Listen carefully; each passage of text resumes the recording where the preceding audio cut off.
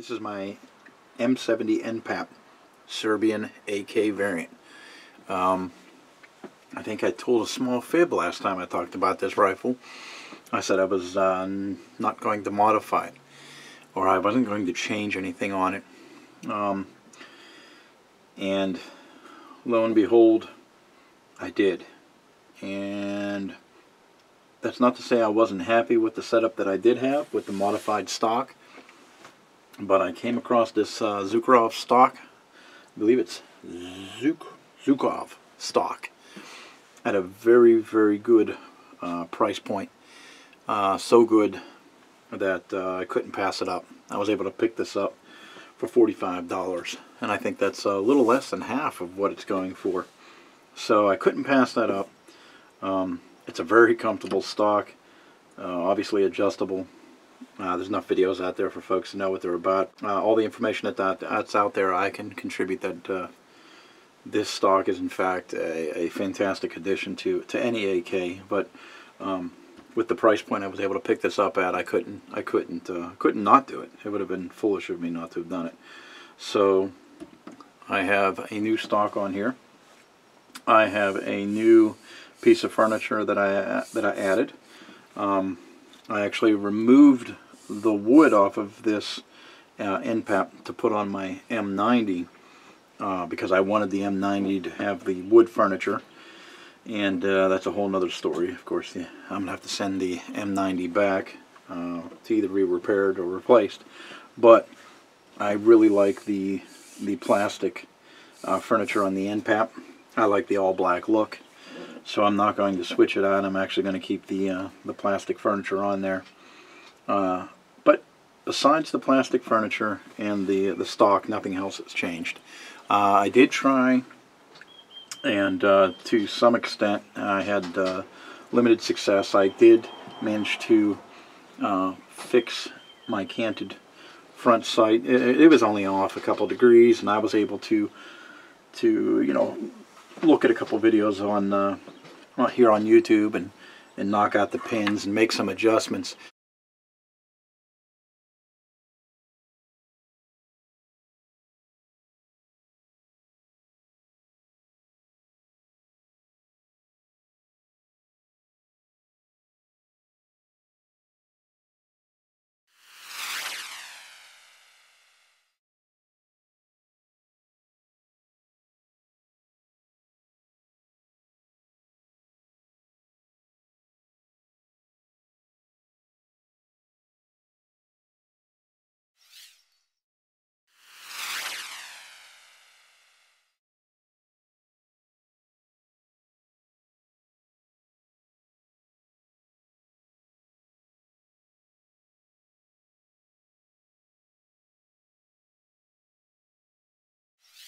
Uh, the only problem I really had was I wasn't able to make small enough adjustments accurately.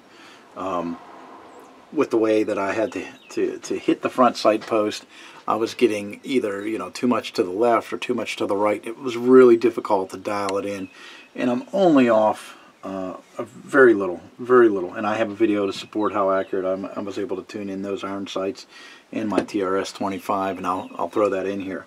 NPAP zero. All right, here we go. Center mass.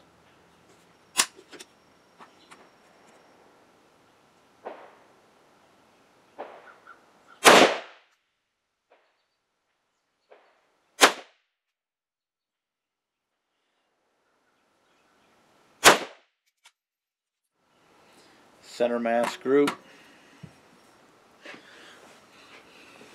All right, now we're going to go with the TRS-25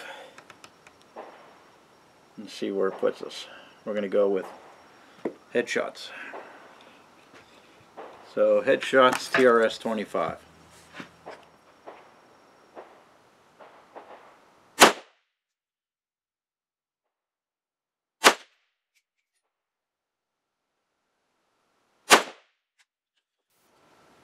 All right.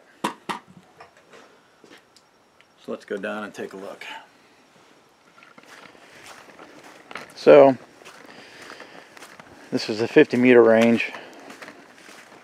I just uh, uncanted my front sight post and my NPAP a little. Not as much as I would have liked to, but the rifle's shooting well and I don't think I'm going to piss with it anymore. So this is iron sights, 50 meters. Shooting a little high, I'll take that. Uh, looks like maybe a front sight post adjustment. I don't know if I'm going to make one. Might be where I'm holding it. And then this is the TRS-25 red dot, 50 meters. So I'll take that also. I'll take the little bit of high, a little bit of height. Um, may lower the front sight post, lower the front sight post, raise the point of impact, correct? So I want it to be a little high at 50. So I'm going to shoot and I'm going to raise or lower the front side post. We'll do another three round group here. And then another three round group with the TRS-25. Um, I'm going to break away here for a minute. We're going to go inside, just do a quick look at the inside to see if anything's changed, and we'll go from there. All right, so uh, I have the, uh, the weapon taken apart, and there are some areas that we, I've been keeping an eye on uh, that have been covered in previous videos. Uh, one of those areas is the rear of the bolt carrier here, where I experienced my mushrooming. You can see there, this has been well documented and spoke about quite a bit by numerous parties. Almost lost a bolt there.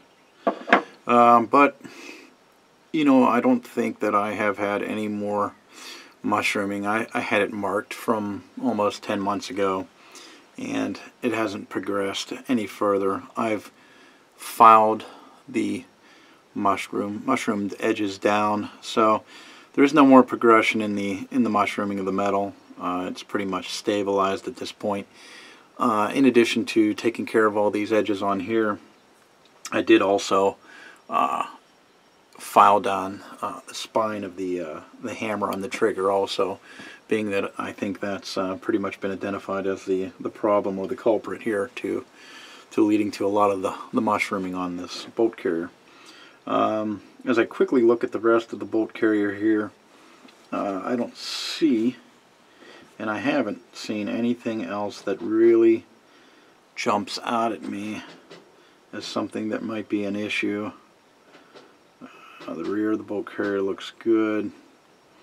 I'm not seeing any any deformed parts or mushrooming there. Um, front end Everything's still smooth. All the metal looks good. There's really nothing there. Uh, it looks really solid. I mean, besides the mushrooming, I think that's all, you know, coming back to the Tapco trigger. But the rest of the bolt carrier looks very good. I don't see any any issues at all. Now for the bolt, the rear of the bolt looks great. Nothing to be seen there. Uh, let's clean some of this up. Take a look at this. See if there's anything that jumps out at us besides normal wear. Um, I'm really not seeing anything that's out of the norm. Just some normal wear marks. I don't see anything that's really looking like it shouldn't be there. Everything looks pretty pretty solid so besides the mushrooming rear of the bolt carrier that's really all that's jumping out Alright, let's move into the rifle itself. Take a look at the trunnions. I don't see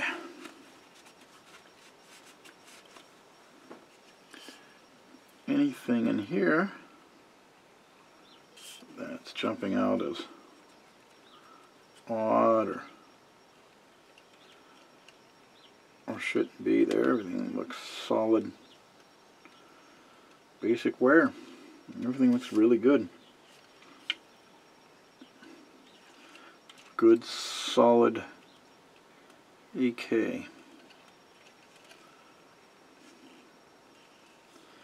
little wear right here, but I think it's just from assembly, disassembly. Nothing's really jumping out.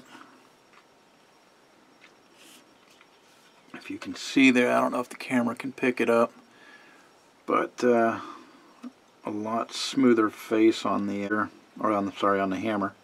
I uh, I rounded that off just a little bit, just took that little ridge off of there, not too much. Uh, didn't move, didn't remove too much material, just that that really sharp crease that ran across there, and uh, perhaps that'll make enough difference to to not to uh, to fix that bolt carrier mushrooming. But uh, besides that, there's nothing else there. I hate to have gone on long there and come off as lengthy, but there was uh, really nothing there that that's showing any odd wear. You can see the front of the uh, the bolt carrier here and the piston. There's nothing odd there either. So, anyways, looks good. So, here we are. My round counts. Pretty close to 2,800 rounds put quite a few through today. I've got some video that I'll put in to support that. So here we go. Off safe. And TRS 25 to the head.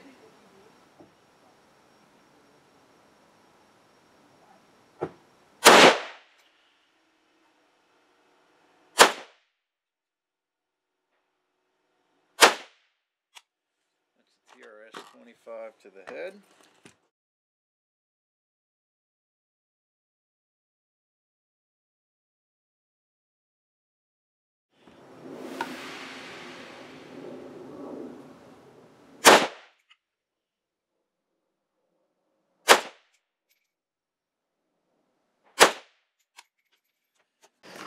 Alright, so I think she's pretty well dialed in. I don't think I'm going to make any more adjustments to my canted front sight post. I think I can I can live with what I've got.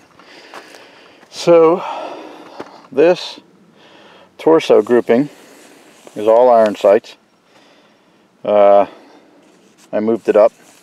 So with my last adjustment, that put the rounds roughly right here which I'm happy with. I can deal with that. At 100 meters, it's probably going to be somewhere in this area here, but that's fine. 200 meters, I'm still going to be in the kill zone on the torso. TRS-25, on the other hand, is pretty damn solid. I think we're pretty well locked in there. Um, I'll have to shoot it at 100 meters, see what kind of group I get, but I'm going to be honest with you, I think even at 100 meters I'm still going to be within this, this 10 or 15 point range. Pretty well center mass of the target. Absolutely no complaints there. So in conclusion, uh, here at the 50 meter range with the NPAP, uh, shooting a Zakharov stock from Magpul. Uh, switched out some furniture. Got the Ultimak, got the TRS-25 red dot. Uh, yesterday did some work on the front sight post uncanted it a little bit, but I got to be honest, I need to make I needed to make some some really small adjustments, and it just maybe it was just beyond my skill set for right now, or or the type of tools that I have. But I'm I'm happy with the way the iron sights are shooting right now. Honestly, I uh, I don't think I'm going to mess with those anymore. But uh, ultimately, the NPAP's doing fantastic. I think I think we nipped the mushrooming in the butt there with the uh, with the the Wolff spring here I'm sure that made a difference also. But everything looks great. Alright, it's a quick video. Thanks for watching. And uh, until we meet again.